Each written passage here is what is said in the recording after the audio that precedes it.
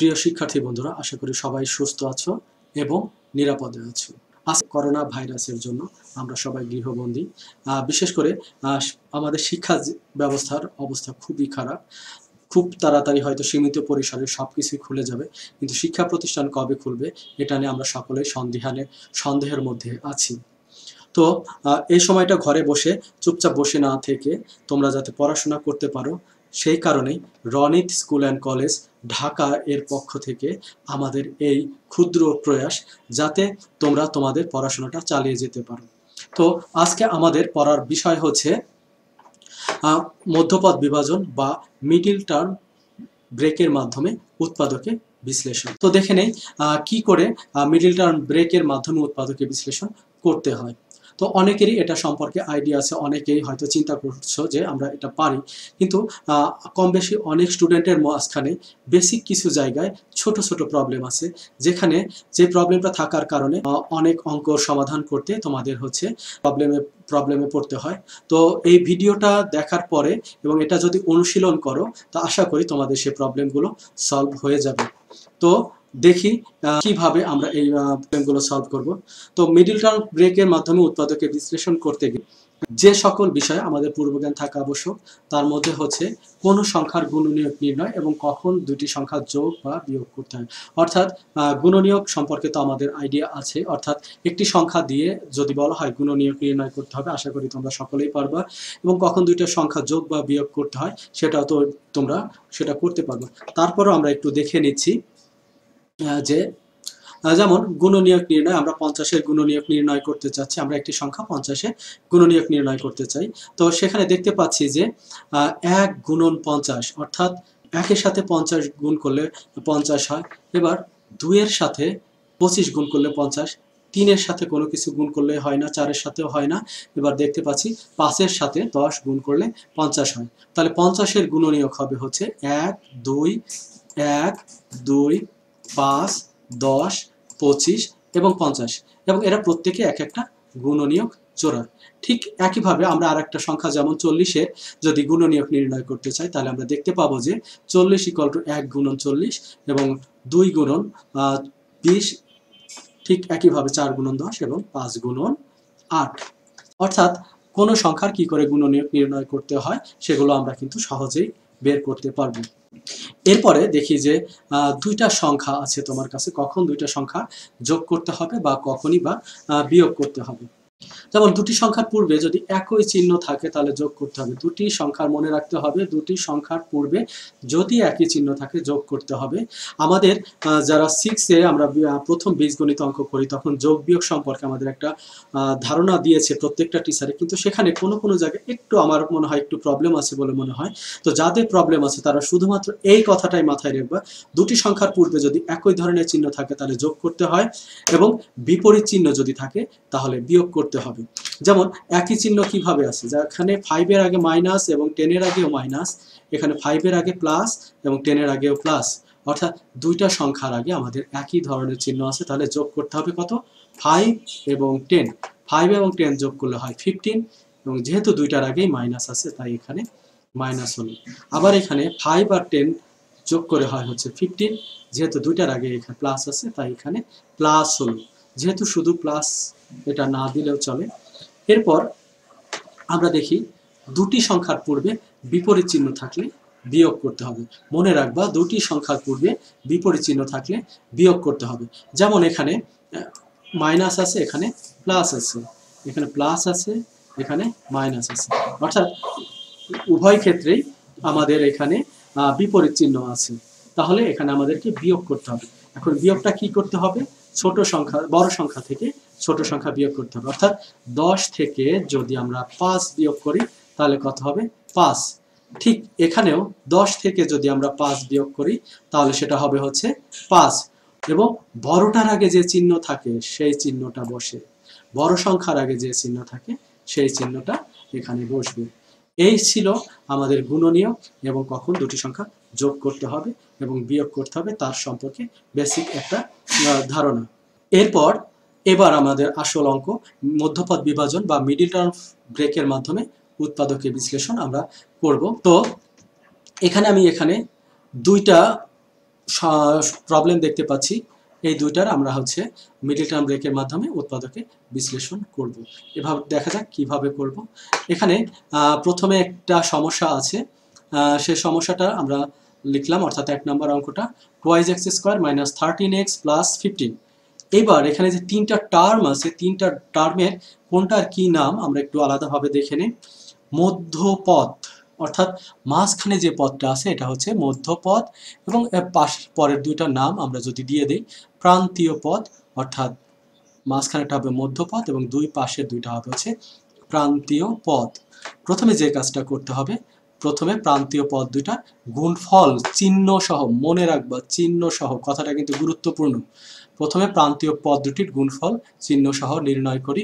তাহলে কি হচ্ছে?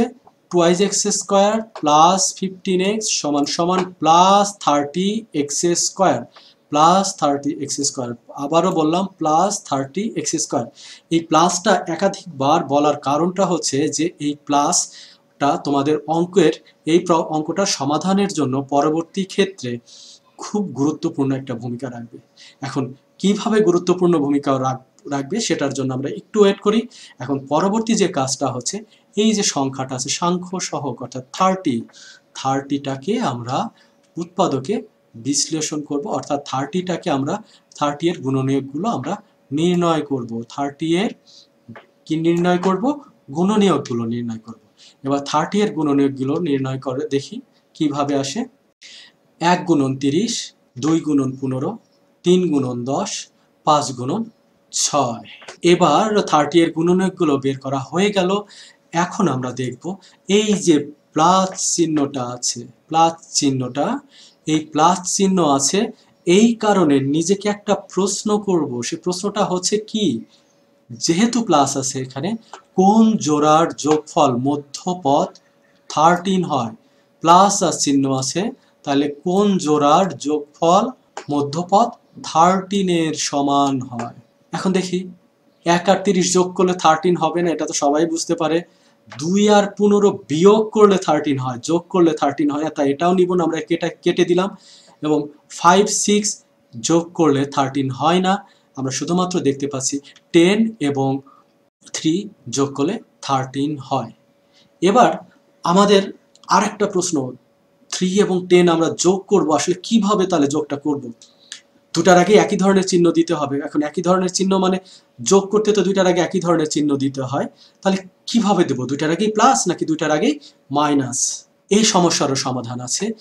যেহেতু এইখানে আমাদের মাইনাস চিহ্নটা আছে, যেহেতু এখানে আমাদের মাইনাস আছে, তাহলে আমাদের এই মাইনাস অপশনটা আমাদের নিতে হবে। ক্লিয়ার সবাই? এবার তাহলে দেখি অঙ্কটা এবার শুরু করি। শুরুটা কীভাবে? এখানে twice x square twice x স্কোয়ারটাকে লিখলাম। Twice x square twice x square লিখলাম। ফিফটিন ফিফটিন লিখলাম।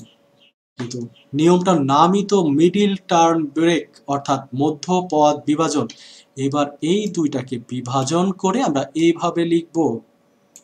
এটা পেলাম কোথা থেকে? এই যে টেকনিকটা থেকে। এবার এই দুইটা থেকে যদি আমি এক্স কমন নেই, তাহলে হচ্ছে টুয়াইজ এক্স মাইনাস থ্রি এবার এইখান থেকে যদি আমরা মাইনাস ফাইভ কমন নেই টেন এক্সকে মাইনাস ফাইভ দিয়ে ভাগ করলে হয় টুয়াইজ এক্স প্লাসকে মাইনাস দিয়ে ভাগ করলে হয়ে যায় মাইনাস এবং ফিফটিনকে ফাইভ দিয়ে ভাগ করলে থ্রি এবার দেখি, এই দুইটা থেকে twice x minus three common যায়, তাহলে আমরা টুয়াইজ এক্স মাইনাস থ্রি যদি কমন নেই, এখানে শুধুমাত্র থাকে এক্স এবং এখানে থাকে হচ্ছে মাইনাস ফাইভ এই যে আমরা পেলাম উৎপাদক দুইটি, এইটাই হচ্ছে আমাদের এই অঙ্কটার উৎপাদকের বিশ্লেষণ, যেটা আমরা মিডিল টার্ম ব্রেকের মাধ্যমে আমরা করলাম। তো এই মুহূর্তে আমরা আর একটা প্রবলেম সলভ করি, তাহলে আমাদের কাছে বিষয়টা আরও ক্লিয়ার হবে। দেখি পরবর্তীতে আমাদের জন্য কি সমস্যাটা আছে, দেখি।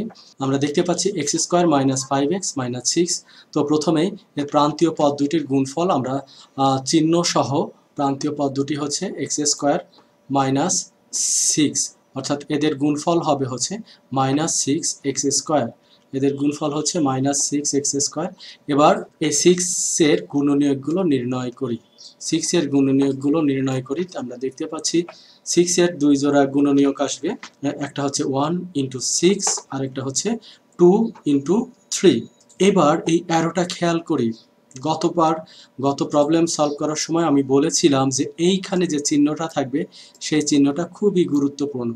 যেহেতু এখানে মাইনাস চিহ্ন আছে, তাহলে এবার আমাদেরকে বলতে হবে কোন জোড়ার বিয়োগফল এখানে ফাইভ হয়, অর্থাৎ মধ্যপদের সমান হয়। তো আমরা দেখতে পাচ্ছি এই জোড়ার বিয়োগফল ফাইভ হয় না, কিন্তু সিক্স এবং ওয়ানের বিয়োগফল ফাইভ হচ্ছে। তাহলে আমরা এই জোড়াটাকে আমরা নিব। এই জোড়াটাকে নিব কীভাবে নিব? এই জোড়াটাকে আমরা নিব হচ্ছে প্লাস সিক্স মাইনাস ওয়ান অথবা মাইনাস ওয়ান প্লাস সিক্স যেহেতু বিয়োগ করতে সংখ্যাগুলোর আগে বিপরীত চিহ্ন বসাতে হয় তাহলে আমাদের হয় একটার আগে প্লাস হবে, আর একটার আগে মাইনাস হবে। যেহেতু আমরা দেখতে পাচ্ছি মধ্যপদে, আর মাইনাস আছে, অর্থাৎ বড়টির আগে আমরা মাইনাস নিব, অর্থাৎ মাইনাস সিক্স হবে, অর্থাৎ প্লাস ওয়ান মাইনাস সিক্স এবার আমরা অঙ্কটাতে চলে যাই। এখানে এক্স স্কোয়ার সমান হচ্ছে আমাদের square minus six minus six এবার সেই কাঙ্ক্ষিত মধ্যপদ বিভাজন, অর্থাৎ এটাকে বিভাজন করে এভাবে লিখলাম। কীভাবে? ওয়ান এক্স মানে এক্স মাইনাস সিক্স এবার পরবর্তীতে আমরা এক্স কমন নিলে, এখান থেকে এক্স কমন নিলে হয় এক্স প্লাস ওয়ান এবং এখান থেকে মাইনাস সিক্স কমন নিলে এক্স প্লাস ওয়ান এবং উভয় জায়গা থেকে এক্স প্লাস ওয়ান কমন যদি আমরা নিয়ে নিই, তাহলে আমরা এই উৎপাদকের বিশ্লেষণটা আমরা এভাবে পাচ্ছি। তাহলে এই হচ্ছে আমাদের উৎপাদকের বিশ্লেষণ। মধ্যপদ বিভাজনের মাধ্যমে। প্রিয় শিক্ষার্থী বন্ধুরা, আশা করি তোমরা মিডিল টার্মের মাধ্যমে উৎপাদকের বিশ্লেষণ বুঝতে পেরেছ। যদি এই ভিডিওটি দ্বারা তোমাদের ন্যূনতম উপকার হয়, তাহলে তোমরা আমাদের কাজকে উৎসাহ দেওয়ার জন্য তোমাদের বন্ধুবান্ধব এবং পরিচিতদের সাথে আমাদের ফেসবুক লিংক এবং ইউটিউবের লিঙ্কটি শেয়ার করবা এবং আমাদের ফেসবুক পেজে লাইক এবং ইউটিউবে সাবস্ক্রাইব করতে ভুলবা না। এই ছোট উৎসাহই আমাদের জন্য অনেক বড় ব্যাপার হয়ে যাবে, যা নিয়ে আমরা ভবিষ্যতে আরও ভালো ভালো ভিডিও তৈরি করতে পারব। তো নেক্সট ভিডিও আসার আগ পর্যন্ত তোমরা ভালো থাকো। আশা করি খুব শীঘ্রই নেক্সট ভিডিওর মাধ্যমে তোমাদের সাথে আমাদের আবার দেখা হচ্ছে।